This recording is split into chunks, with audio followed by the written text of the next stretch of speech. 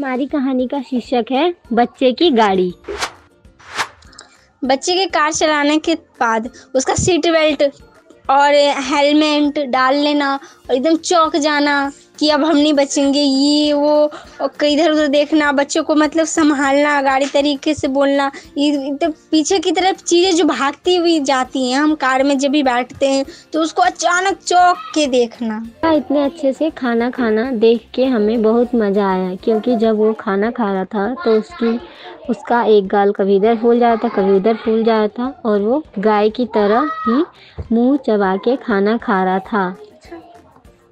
उसका अपने उसका अपने एक्शन को क्लियरिटी से करना और वो अपने एक्शन को बड़ा बड़ा करके दिखा रहा था इसीलिए हमें मज़ा आया।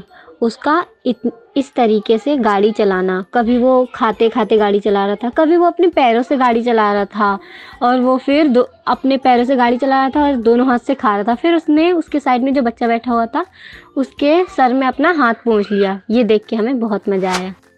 आपने मुँह पर पैंट क्यों कर रखा था? और आपको ये करने में कितना समय लगा?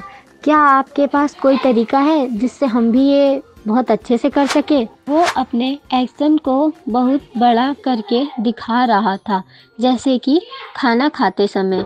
कभी उसका गाल इधर फूल जा रहा था और कभी उसका गाल उधर फूल जा रहा था। इन चीज़ों से ही हमें समझ